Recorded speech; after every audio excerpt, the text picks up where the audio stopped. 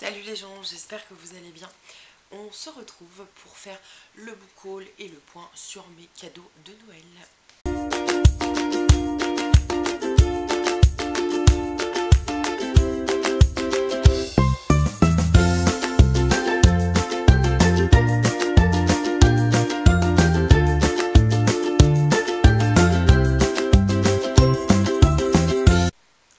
Alors c'est parti pour un tout en un où je vais vous montrer mes acquisitions livresques du mois de décembre 2017. Je vais aussi vous montrer mes cadeaux de Noël, livres et pas que, euh, et le tour que j'ai fait à Primark où j'ai acheté euh, pas mal de choses sur euh, Harry Potter qui se croise aussi avec, avec des cadeaux, avec le swap que j'ai fait avec Sandra. Enfin, bref, c'est un gros bordel. Donc, on va commencer tout de suite par les livres pour pas perdre de temps. Donc, offert de moi-même à moi-même, je me suis procuré Les Extraordinaires, les mystères de Londinor, chez Albin Michel Collection Wiz par Jennifer Bell. Je vais aller très très vite sur les résumés parce que sinon cette vidéo elle va durer 35 minutes. En fait, c'est euh, deux adolescents, enfin deux, ouais, deux adolescents qui vont dans une ville souterraine où les objets sont animés euh, et se métamorphosent. Et donc en fait, ils vont être poursuivis et ce sont leurs aventures. Toujours en très jeunesse, je le voulais depuis un moment, donc de Loïc Leborgne, agence Mysterium, euh, le fantôme de Saint-Malo, donc de, pas de, chez Scrineo. Euh, alors là, en fait, on va retrouver autour de non, Eglantine, c'est la victime, autour de Kim Kraken, une collégienne, euh, d'autres collégiens qui veulent résoudre des mystères. Alors, euh, j'en avais parlé il y a quelques temps. Je m'étais acheté la première intégrale de Felicity Adcock de Sophie Jomain chez France Loisirs. Elle est là, Maxime. Euh, donc en fait ça comprend le premier et le deuxième tome. Les anges mordent aussi et les anges ont la dent dure. Donc le début des aventures de Felicity euh, avec les vampires, avec les démons, avec les, les anges. Euh, je n'en sais pas plus, le résumé n'est pas forcément très explicite, mais ça me va juste très très bien. Toujours chez France Loisirs parce qu'en fait il y avait euh, des ventes à 5 euros pour euh, le Black Friday. J'ai pris D de Robert Harris qui en fait euh, parle de l'affaire Dreyfus. Cette affaire qui donc a bouleversé la France puisque Dreyfus a été accusé à tort et que c'était aussi une accusation euh, du fait qu'il était juif, enfin de confession juive. Alors euh, ceux qui me suivent sur Instagram l'ont vu, j'ai craqué pour un livre qui me tente depuis très très longtemps de Ruta Sepetys, c'est ce qu'ils n'ont pas pu nous prendre, c'est chez Scripto, donc la collection Scripto de Gallimard. Donc là on va suivre en fait Lina qui est lituanienne et qui part en 1941 euh, euh, sur avec euh, les, les, soviets en fait euh, dans ce froid mordant pendant cette, euh, cette période pour les pays de l'Est où il faut traverser le, ce terrible hiver et atterrir dans un camp et elle va rencontrer Andreus. Donc je sais que c'est un livre qui va me prendre au trip mais ça me fera peut-être du bien aussi après le prix de dire autre chose que de l'imaginaire. Et en parlant du PLIB 2018, je me suis procuré les âmes rouges de A et S Chez PKJ, donc l'éveil. Ou alors là, le résumé est supra intrigant, j'ai hyper envie de, le lire. En plus, euh, elles ont l'air toutes les deux très très sympathiques. On va suivre Ellie et son petit frère qui ont été adoptés et qui un jour se font mettre, euh, je pense littéralement, à la porte. Et visiblement, il y a des créatures qui veulent les dévorer. Donc pour moi, on est entre l'horreur, peut-être jeunesse, mais euh, c'est vraiment quelque chose qui me plaît. En livre gratuit, parce que j'avais 100, 100, points pardon, chez France Loisirs, je me suis pris Magnus Chase de euh, Rick Riordan, donc l'épée de l'été, le premier tome. où on va suivre en fait un fils des dieux d'Asgard, qui euh, sont les dieux de la mythologie scandinave. Je suis une fan totale de cette mythologie-là et j'avais bien envie de le découvrir. Également dans le prix, et il fait beaucoup parler de lui, La fille qui avait bu la lune de Kelly Barnhill, publié chez Anne Carrière. Donc en fait là, on va suivre une sorcière qui se nomme Xan, qui euh, tous les ans euh, fait adopter un enfant qu'on lui confie. Elle par contre me tente beaucoup. Ensuite, alors, euh, au niveau graphique, je me suis procuré le premier tome de Enola Holmes, enfin les enquêtes d'Enola Holmes, de Serena Blaso, Blasco, pardon, euh, publié chez Jungle. Donc là, c'est la petite sœur de, de Sherlock Holmes qui a disparu, euh, lui, il a disparu, et qui va mener l'enquête. Premier tome en plus euh, avec une édition collector, je suis ravie. Toujours de moi-même à moi-même, le dernier tome. Hmm, le dernier tome. Des carnets de cerises, le tome 5 des premières neiges au Perséide. Euh, c'est chez Soleil dans la collection Métamorphose. Euh, en sachant que je n'ai pas lu le 3 et le 4, euh, donc il faudra que je, je me bouge. J'ai aussi, toujours chez France Loisirs, craqué pour Ciel, le premier tome de Joanne Elliott. L'hiver des machines. Alors c'est un résumé qui est pareil, qui en dit très peu, mais ça parle, pardon, d'intelligence artificielle que j'ai du mal ce soir. Euh, et hum, moi, ça ça m'interpelle toujours. Qui plus est, Laurence de la chaîne Laurence Authentique a aimé. Et quand Laurence aime la SFFF, je me dis que je ne peux pas louper ça. Ensuite, j'ai fait un tour au dépôt de l'imaginaire et je me suis enfin pris, moi, Peter Pan de Michael Rock aux, éditions, euh, enfin chez Mu Édition. Je vais plutôt vous donner le résumé euh, que m'a fait euh, l'éditeur libraire Davy. coucou si tu passes par là. En fait, c'est une réflexion sur qu'est-ce qui se passe quand on abandonne sa période de enfantine et qu'on arrive à, à l'âge adulte. C'est visiblement un roman qui ne plaît pas forcément toujours à tout le monde parce qu'il renvoie des choses de l'enfance, justement, voire peut-être de l'âge adulte. Mais il est tout petit et euh, bah, j'en vais peut-être me confronter aussi à des, des choses que je peux me renvoyer moi-même. Toujours au dépôt de l'imaginaire, je me suis procuré Petit Blanc de Nicolas Cartelet chez Édition, toujours. Donc là, on suit euh, Albert Villeneuve qui euh, va partir avec sa femme et sa fille euh, pour Sainte-Madeleine, qui est une île, je crois.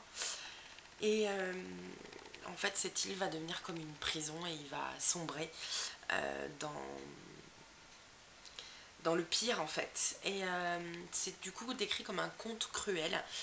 Je suis très intriguée et c'est pour ça qu'il a fini par rejoindre euh, ma palle. Et enfin, le dernier achat au dépôt, c'est Boxing Dolls. Donc, ce sont euh, des, nouvelles en fait. Et là, Pierre Bordage euh, a participé à ce recueil avec de magnifiques illustrations, comme toujours dans ce type de format donc on a également Laura Vicedo et Marion et Philippe Oreille. Donc c'est des, nouvelles graphiques. Euh, j'avais très envie de tester. Alors, euh, pour ceux qui me suivent, j'ai reçu dans le swap avec Laurence le quatrième tome de euh, la série de Gail Carriger, Le Protectorat de l'Ombrelle. Et je me suis rendu compte que j'avais que le 1 et le 2. Pourtant, j'avais lu le 3. Donc, j'ai réparé cette erreur. Du coup, je vous en parle pas. Euh, c'est la suite des aventures d'Alexia Tarabotti. Je vous parlerai plutôt du 4. Je me suis procuré toujours pour le prix de Camille Brissot La Maison des Reflets, publié chez Cyrus. où là on est dans un monde très spécial qui va parler un petit peu du rapport qu'on a avec la mort et la perte de nos êtres chers. On parle de maisons de départ qui ressuscitent des morts à travers leurs reflets. Et en fait, euh, Daniel est toujours dans, une de ces maisons parce que tous ses amis sont dans la maison des reflets, donc par définition sont morts, jusqu'à ce qu'il rencontre Violette, une jeune fille qui elle est bien vivante. Alors là, je me le suis procuré chez France Loisirs, toujours lors de la promotion des 5 euros. C'est euh, c'est quand même une bonne bricasse. C'est de Sarah Lark, Le chant des esprits. Et ça va se passer en fait en Nouvelle-Zélande, euh, au 19e. Une histoire entre deux cousines, je crois, et qui seront des pionnières en Nouvelle-Zélande. Alors j'ai pas fait exprès, encore un mois où je parle de Sherlock Holmes, avec les aventures de Charlotte Holmes de Brittany Cavallaro chez Pocket Jeunesse. Où là en fait on est avec les arrière-petits-enfants du Dr Watson et de Sherlock Holmes qui vont se retrouver dans le même collège, mais ça ne leur fait pas vraiment plaisir. Et alors ça c'était euh, un cadeau d'anniversaire également nous avons nos âmes plurielles de Samantha Bailly, donc la fin de la trilogie de nos âmes jumelles, nos âmes rebelles. Et du coup, je n'ai pas lu nos âmes rebelles encore. Faudrait que je le casse, ce serait bien. Mais de toute façon, c'est une valeur sûre. J'ai envie de continuer à suivre Sonia et Lou et de terminer leurs aventures.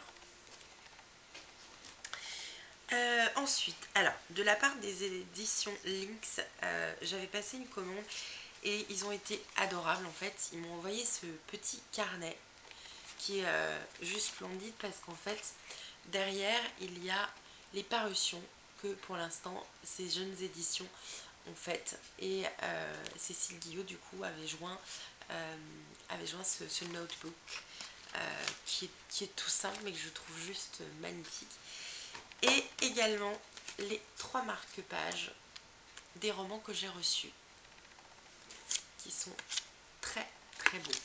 Donc un grand grand merci aux éditions Lynx qui font un travail je trouve euh, magnifique. Donc euh, il y avait Fille des quatre de Cécile Guillot, l'intégrale. Donc c'est l'histoire de Maëlys en fait qui se découvre des pouvoirs de sorcière, de Wicca plutôt, euh, et qui en même temps doit valider sa, dernière année de, psycho.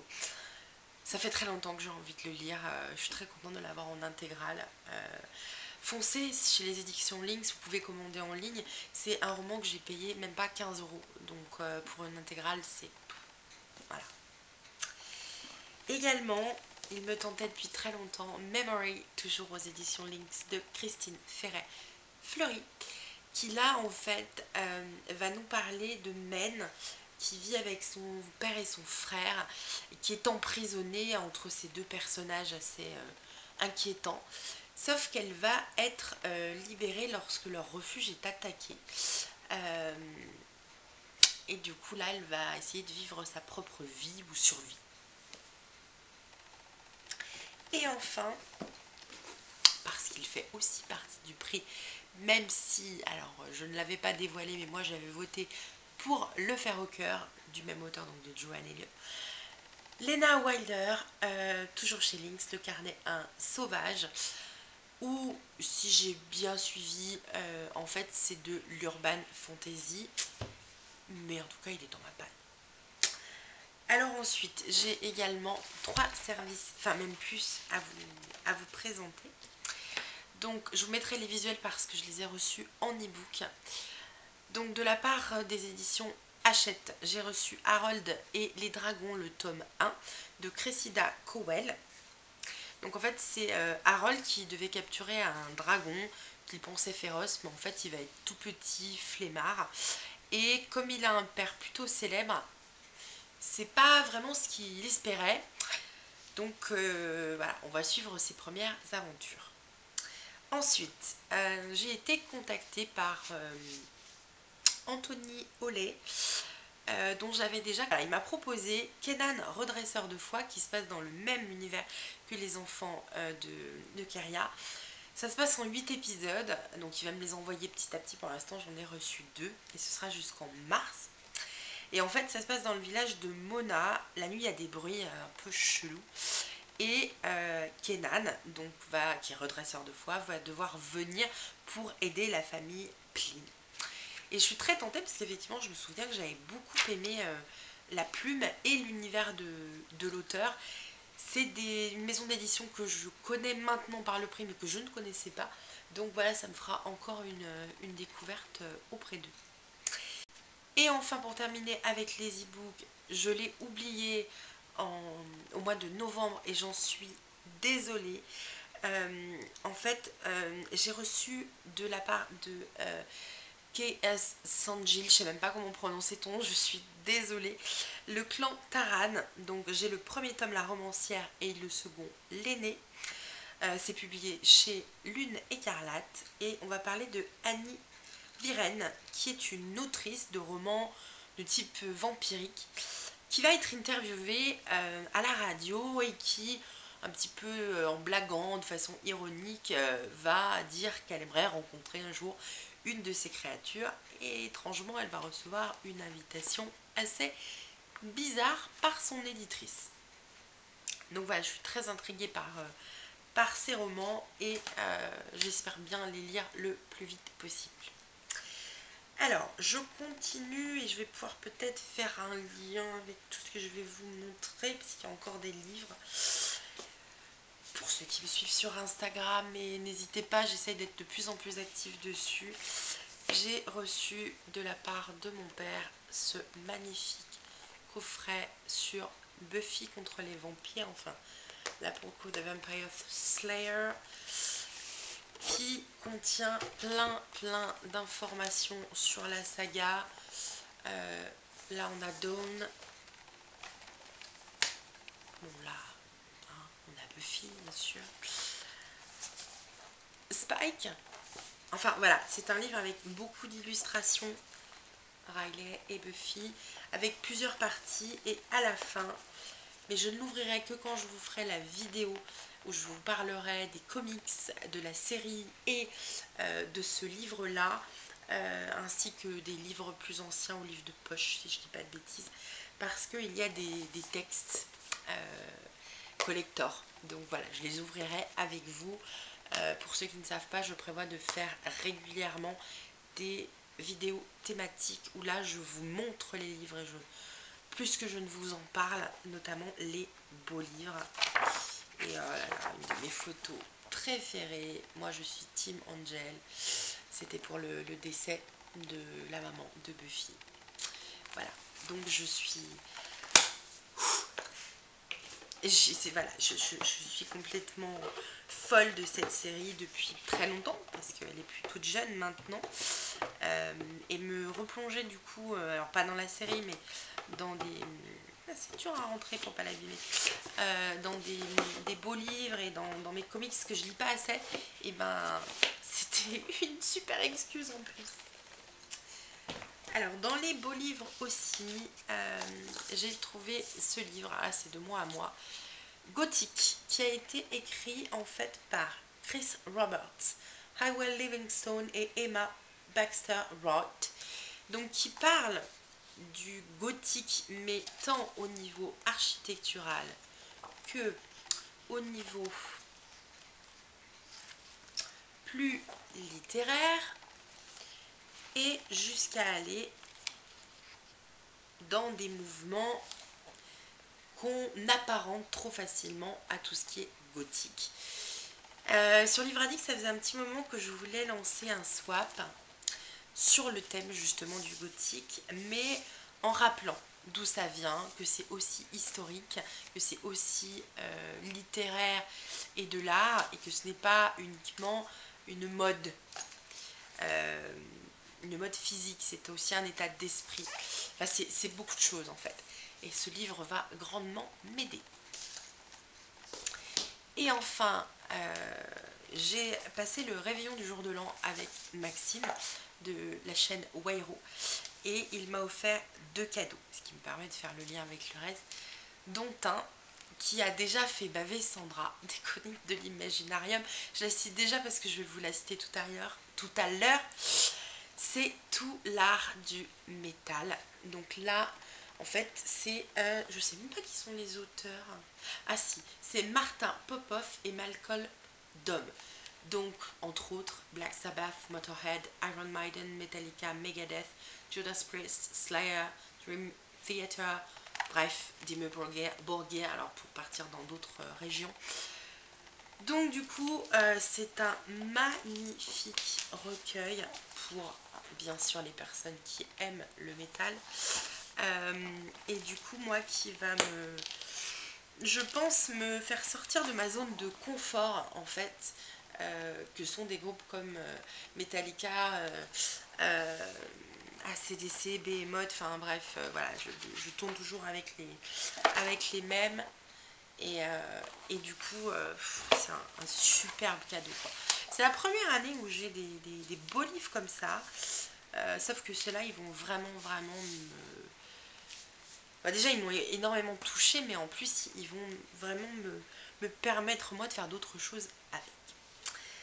Alors, comme cette vidéo va être longue, j'enchaîne sur le deuxième cadeau que Maxime euh, m'a fait, qui a été, euh, je pense que vous pourrez le comprendre, qui a été extrêmement touchant.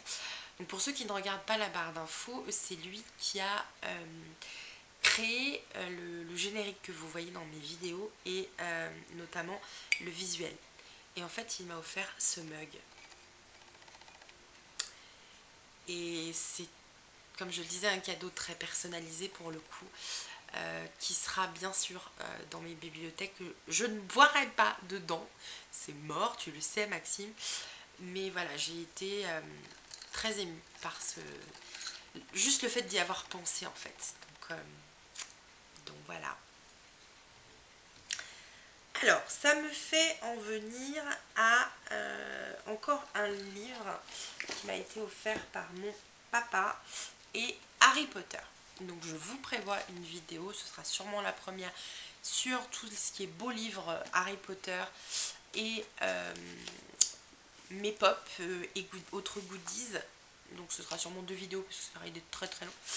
Et j'ai reçu La magie du cinéma, le monde des sorciers de J.K. Rowling, où on croise, c'est le premier volume, Harry Potter et les animaux fantastiques. Donc du coup, je sais qu'il y a des pop-up, euh, il y a beaucoup de choses à voir. Donc je ferai déjà un tri de ce que j'ai envie de vous montrer. Mais je suis comblée. Entre Buffy et ça, on touche à deux, deux plein d'univers que j'aime énormément, mais deux, deux énormes. Et, voilà. Ensuite, et ça, ça faisait partie du, euh, de mon mes achats aussi personnels, le point a sorti un spécial Harry Potter, mythe et origine d'un chef-d'œuvre, où en fait on va parler de beaucoup beaucoup de choses, de personnages, euh, de euh, l'auteur dans ses jeunes années et plus tard, et euh, également de, recettes. Enfin voilà, j'ai trouvé que c'était hyper complémentaire avec ce que je voulais vous faire dans un autre format que les bouquins. Donc, euh, donc voilà, donc je vais le lire avec un plaisir immense et vous en reparler. Et puis bien sûr, enfin bien sûr, j'ai euh, profité du fait que je faisais un swap pour de Noël avec Sandra et je voulais lui faire des cadeaux Harry Potter. Donc je suis allée à Primark à Lyon et je me suis aussi fait des petits cadeaux. Euh, donc voilà. Donc déjà, je me suis acheté un pot à crayon avec finalement les quatre maisons. Donc on a Ravenclaw, Slytherin, Hufflepuff et Gryffindor. Donc là, on les a tous les quatre. Euh, franchement, c'est des prix dérisoires. Je trouve ça génial. J'adore. Voilà. J'ai aussi craqué sur des chaussettes. Toby is free. Elles sont trop trop belles. Alors je les ai pas encore ouvertes, mais en plus elles sont super grandes. Et euh, je, sais pas si je vais les porter, mais, j'ai trop hâte. Et il y en avait d'autres.